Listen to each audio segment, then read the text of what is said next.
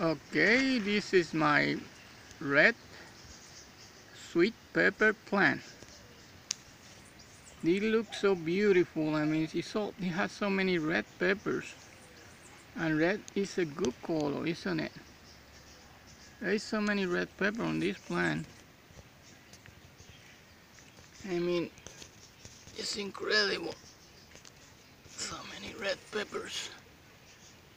They're so delicious and healthy to eat. You can see here. Wow.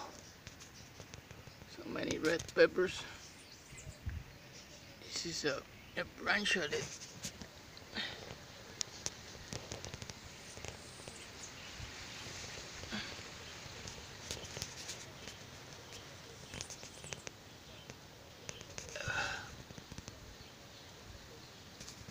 I don't know what I'm gonna do with so many peppers.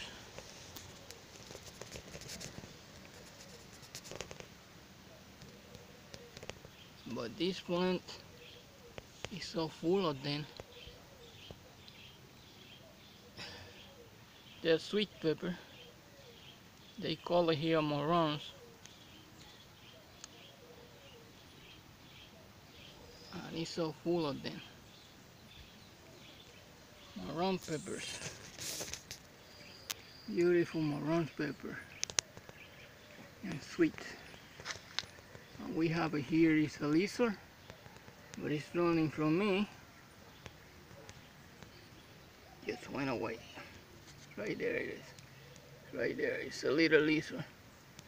They live in here. This is the place of living. There you have it that sweet pepper morrón pepper. Look at that, so red. So beautiful. Red is beautiful, isn't it? Look at that. Red is beautiful. And this pepper also sweet. Something is eating them already.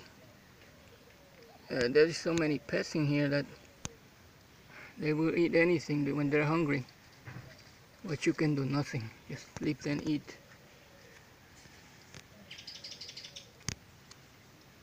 This is I guess it's my second video on this plant of red peppers. I'm gonna keep this for records because you don't see plants like this most, most of the time. Once in a while you see this plant so there you have it. Red pepper plant full of pepper